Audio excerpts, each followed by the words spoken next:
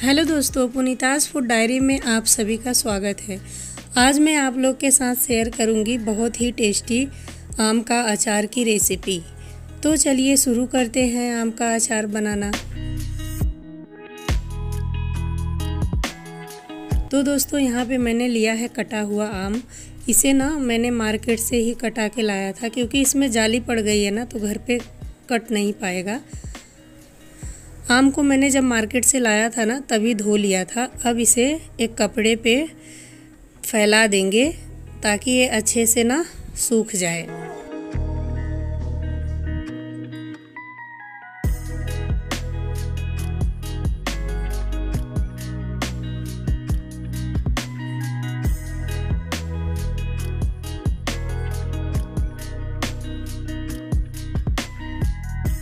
तो दोस्तों, आम को मैंने अच्छे से फैला दिया है। अब इसे ना ओवरनाइट के लिए छोड़ देंगे पंखे के नीचे सूखने के लिए।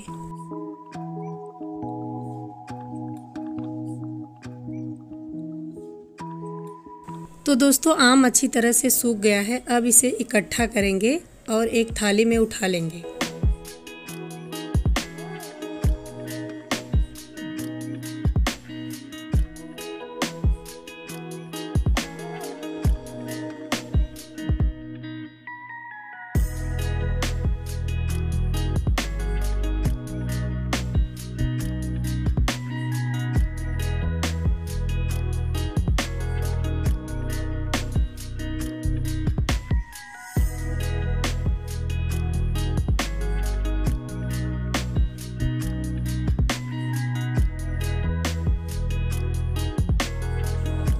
आम को ना हम एक बड़े बर्तन में ट्रांसफ़र करेंगे और इसमें डालेंगे नमक और हल्दी। हल्दी डालने के बाद इसे वापस अच्छी तरह से मिक्स करेंगे।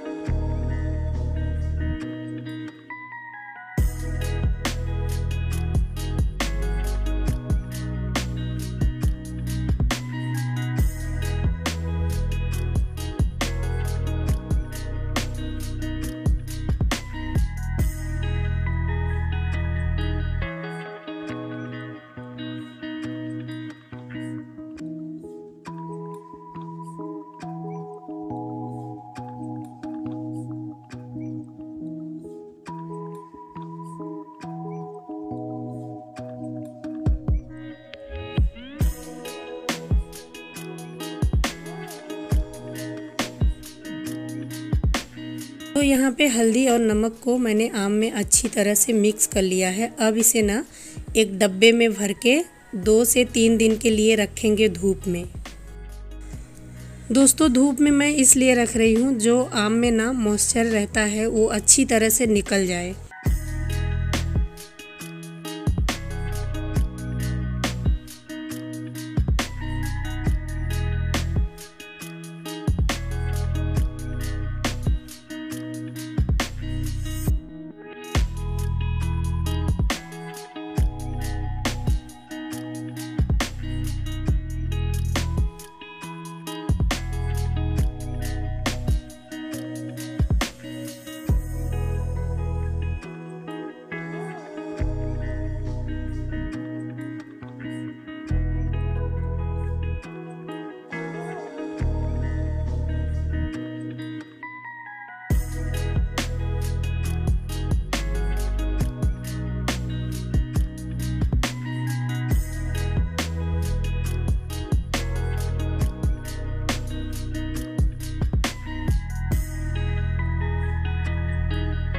तो यहाँ पे दो से तीन दिन हो गया है। अब मैं दिखाती हूँ इसमें से कितना पानी निकला हुआ है। अब हम आम को एक छन्नी में निकाल देंगे और इसके नीचे एक बड़ा सा बर्तन रखेंगे।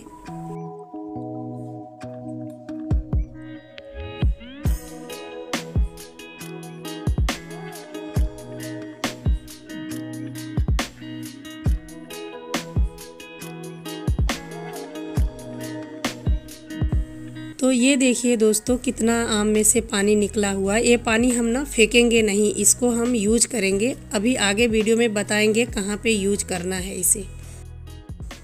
दोस्तों, हमारी मम्मी ना अचार ऐसे ही बनाती हैं, दो से तीन साल ख़राब नहीं होता है अचार। मैं आज अपने मम्मी की रेसिपी आप लोग के साथ शेयर कर रही हूँ। मेरी मम्मी ऐसे ही बनाती हैं। आम में से जो पानी निकला हुआ है ना, अब इसे हम रखेंगे गैस पे और इसे इतना पकाएँगे कि ये थोड़ा सा रह जाए बस पक के। और साथ ही में इसमें डाल देंगे हींग। हींग दोस्तों ये ना एकदम ओरिजिनल वाला है।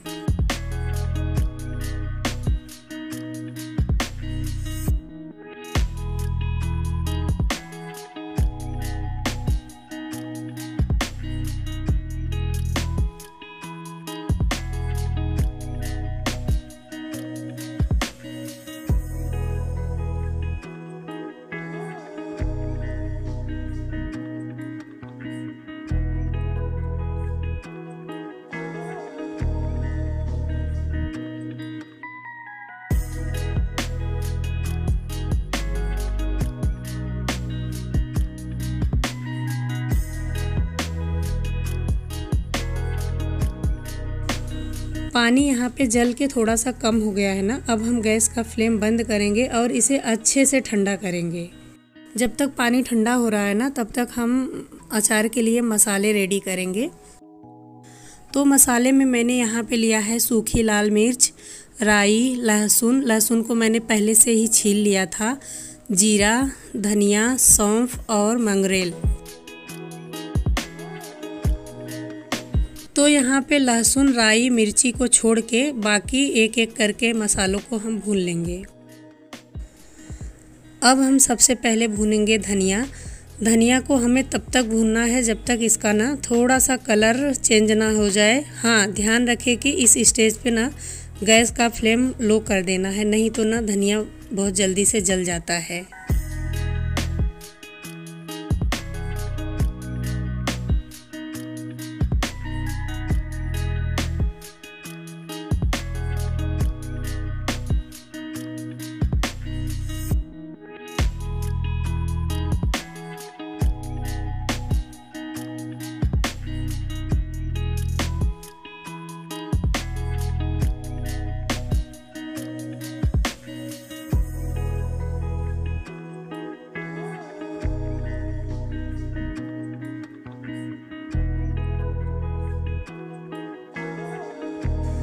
तो यहाँ पे धनिया का कलर आप लोग देख सकते हैं, चेंज हो गया है। अब इसे बड़ी थाली में हम ट्रांसफ़र करेंगे।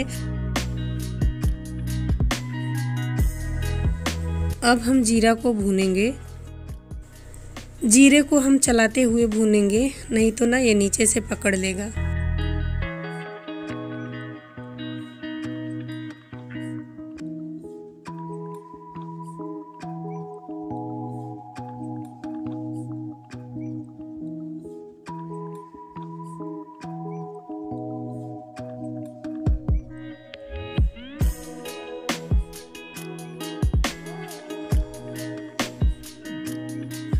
यहाँ पे जीरा भी भून चुका है, अब इसे भी थाली में हम निकाल लेंगे।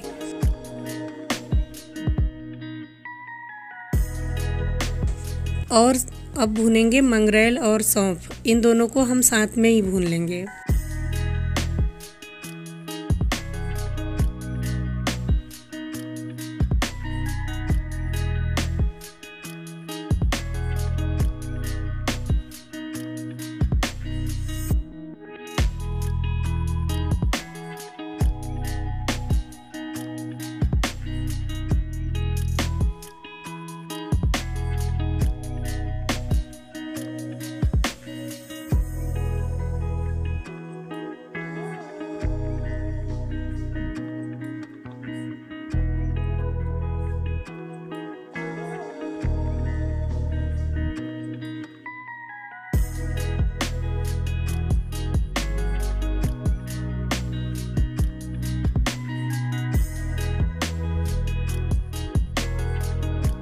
ये भी भुन चुका है, इसे भी हम प्लेट में निकालेंगे और इन सबको ना हम अच्छी तरह से ठंडा कर लेंगे।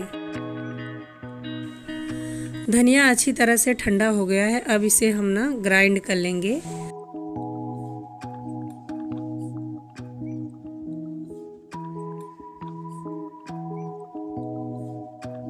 तो ये देखिए दोस्तों, इस तरह से धनिया का ना हम फाइन पाउडर बना लेंगे। अब हम जीरा का पाउडर बनाएँगे।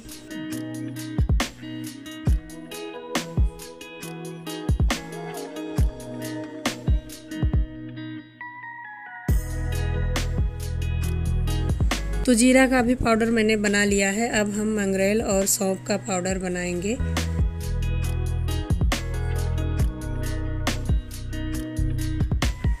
यहाँ पे मैंने मंगरेल और सौंफ का पाउडर बना लिया है। अब हम बनाएँगे राई का पाउडर। तो राई का पाउडर बनाने के बाद ना हम मिर्ची को भी ग्राइंड करेंगे। मिर्ची को हमें फाइन पेस्ट नहीं बनाना है, उसको दरदरा ही रखना है।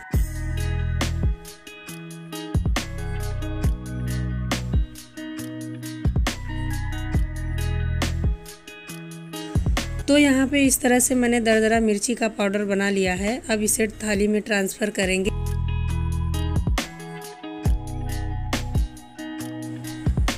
फाइनली दोस्तों, हम डालेंगे लहसुन को ग्राइंडिंग जार में। इसका हमें ना फाइन पेस्ट नहीं बनाना है, इसे भी दरदरा ही रखना है। तो ये देखिए दोस्तों, इस तरह से हमें लहसुन रखना है।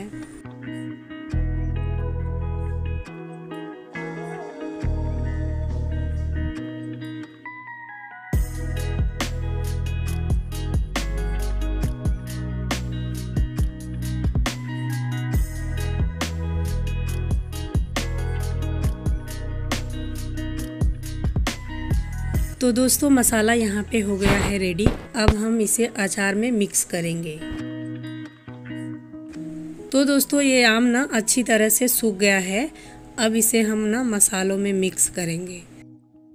जितने भी मसाले मैंने ग्राइंड किया था, अब एक एक करके एक ही थाली में डाल के मिक्स कर लेंगे।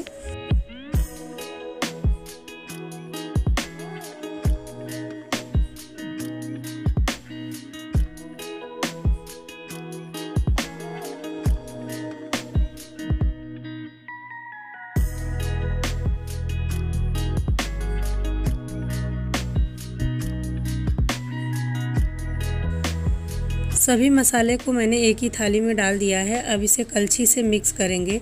दोस्तों, इसमें मिर्ची डाली हूँ ना। हाथ से मिलाएँगे तो ना हाथ में जलन होगी।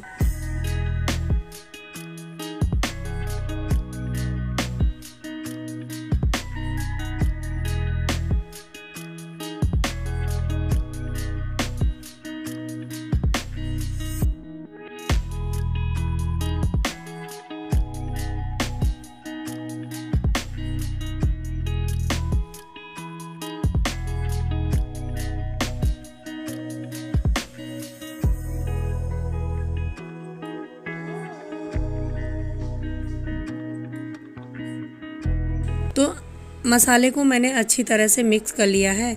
अब हम आम को एक बड़े बर्तन में ट्रांसफ़र कर लेंगे। मैंने बड़े बर्तन में आम को इसलिए डाला क्योंकि अच्छे से ये मिल जाए। अब इसमें डालेंगे दरदरा पिसा हुआ लहसुन और जो मैंने आम का पानी पका के रखा था ना, डाल के अच्छी तरह से मिक्स करेंगे।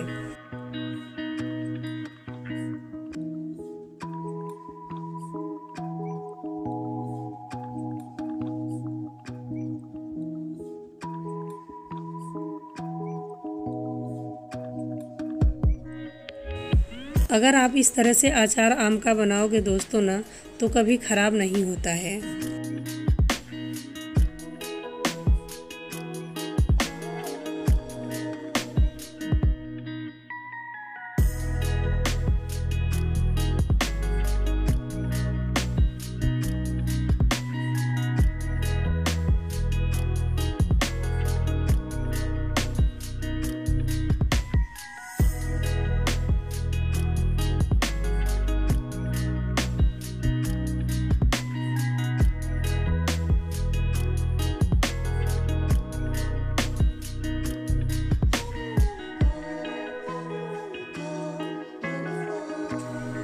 लहसुन और आम का पानी अच्छे से मिक्स हो गया है। अब इसमें थोड़ा थोड़ा करके मसाला डालेंगे, इसे मिलाते जाएँगे।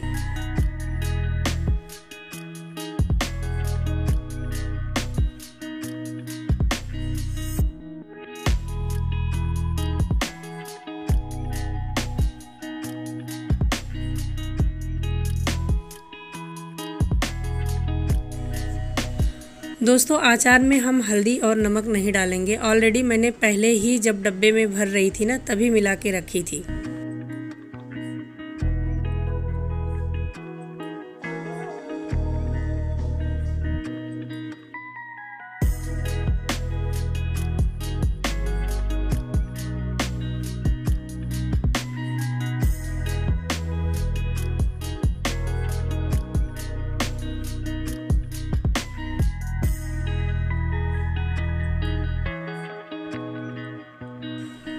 यहाँ पे थोड़ा थोड़ा करके मसाला मैंने डाल दिया है। अब इसमें डालेंगे राई का तेल। तेल डालने के बाद इसे वापस अच्छी तरह से मिक्स करेंगे।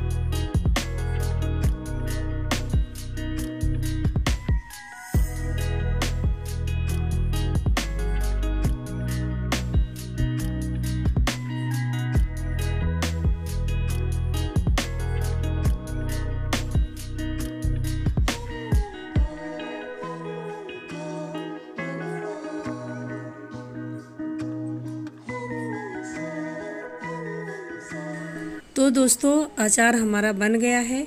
अब इसमें डाल देंगे सिरका का रस। सिरका का रस डालने से क्या होता है ना, अचार का टेस्ट भी अच्छा लगता है और अचार ख़राब भी नहीं होता है। ये मेरा सिरका ना, गाँव से मेरी मम्मी ने भेजा था।